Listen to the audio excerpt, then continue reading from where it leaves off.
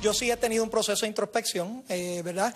Y en ese proceso de, evaluación y de pensamiento, eh, mi determinación ha sido eh, continuar trabajando por Puerto Rico. En ese grupo, yo soy la única persona que fui electo por el pueblo de Puerto Rico por el voto directo eh, del pueblo de Puerto Rico. Entonces, mi parecer que mi ejecución es, eh, como he hecho, remediar eh, las acciones tomadas, esto, solicitar las disculpas y demostrarlo. Yo sé que hay personas que han aceptado las disculpas, hay personas que no.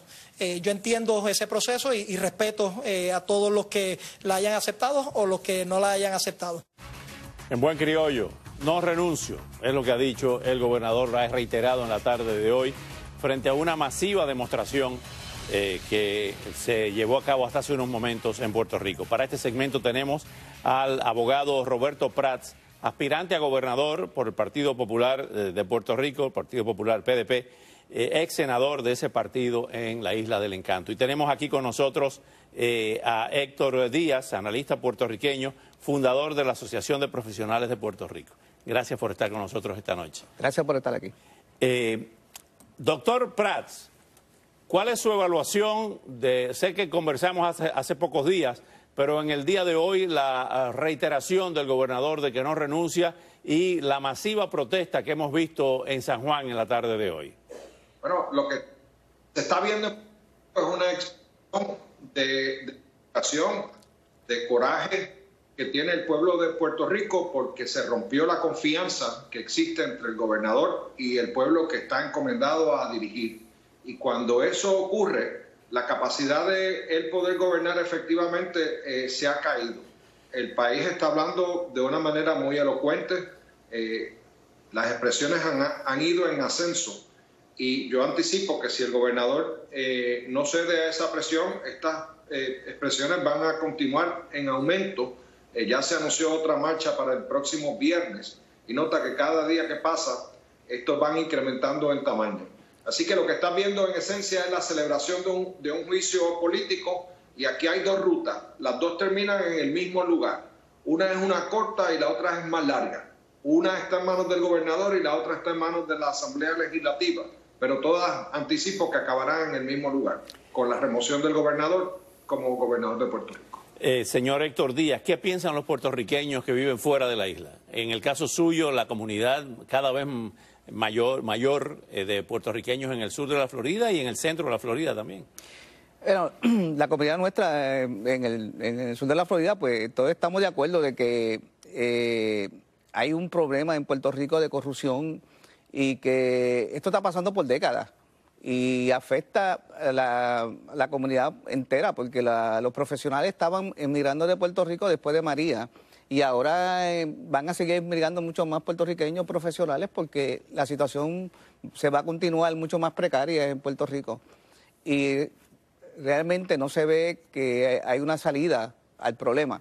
Eh, como él estaba mencionando el doctor, pues eh, hay dos salidas eh, la primera salida es que yo creo que toda la, diáspora pues, está de acuerdo de que tiene que haber una solución en términos del gobernador. Él, él dijo que no iba a renunciar, pero ahora que era responsabilidad de, la Cámara de, Puerto Rico que eh, comiencen con una un una investigación para ver si hay causa eh, probable para que le puedan residenciarlo. Residenciarlo. Antes de volver con el doctor Roberto Prats para que nos explique cómo sería ese procedimiento de, que se conoce aquí como impeachment, vamos a escuchar algunas de las figuras importantes que desfilaron hoy pidiendo la renuncia del gobernador Rosselló, entre ellos Ricky Martin. Ya Puerto Rico ha sufrido muchísimo y no, no podemos más con el cinismo de estos, de estos líderes. Afortunadamente salió el chat.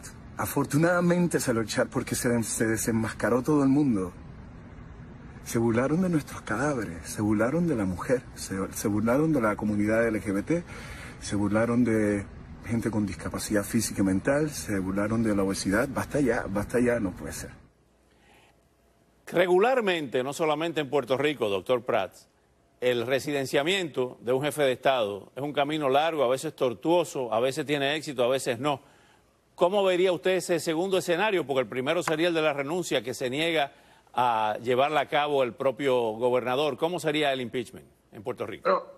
En la historia de Puerto Rico nunca hemos tenido ni un gobernador residenciado ni un gobernador renunciando. Pero para eso está la constitución de Puerto Rico, para poder navegar por momentos de tempestad como el que estamos ahora y asegurar que se preserva el Estado de Derecho y que se protege la ley y el orden en Puerto Rico. La constitución es bien clara, establece una secuencia de sucesión del gobernador hacia el secretario de Estado.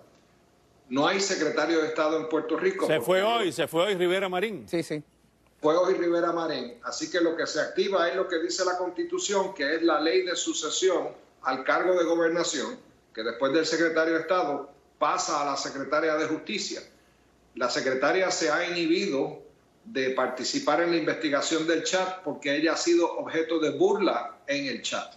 Eh, pero eso no le impide que ella asuma el cargo si el gobernador renuncia voluntariamente en los próximos días. Pero eh, eh, luego de eso pues vendría el secretario de Educación, luego el de, perdóname, el de Hacienda, y el de Hacienda tampoco puede ser porque él no tiene la edad constitucional para ser gobernador. El secretario tiene 31 años y la constitución requiere que sean 35. pero seguimos la lista, es bastante extensa. El proceso sería que la Cámara presente unos artículos de residenciamiento. Y ahí es donde la cosa empieza a complicarse, no es tan fácil como se está diciendo, porque la Constitución requiere que se articule una violación a un delito grave que implique soborno, eh, puede ser delitos graves que implique eh, extorsión, conspiración, traición y podría incluir delitos menos graves que conlleven depravación moral. Eso requeriría que se utilice el chat y se haga un ejercicio de identificar qué posibles violaciones a ley se incluyen ahí y si esas mismas se podrían sostener en un juicio político que le tocaría al Senado celebrarlo. Celebrarlo. El, el, fiscal en este caso sería la Cámara de Representantes, los diputados en otros países, y el, Senado sería como el jurado o el juez en ese proceso, ¿no? Correcto.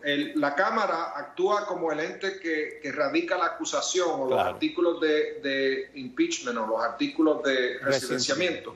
Si lo prueban por dos terceras partes en la Cámara, entonces el Senado celebra el juicio, siendo el presidente, la presidenta del Tribunal Supremo, el juez que que lleva a cabo el proceso. El proceso. Vamos a escuchar, eh, doctor Prats, a lo que dijo el gobernador sobre esto, sobre su posible enjuiciamiento. No he cometido actos ilegal y no he cometido actos de corrupción, ¿verdad? Eh, yo estoy claro en eso. Yo cometí eh, unos actos impropios y solicité disculpas por, por ello.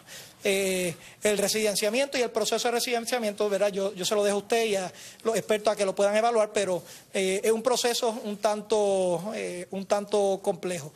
Esto, hasta el momento, todas las indicaciones son que no se está considerando eso y ahí también yo creo que puede buscar en las expresiones escritas que se llevaron a cabo con, con el caucus que no se está buscando ese residenciamiento.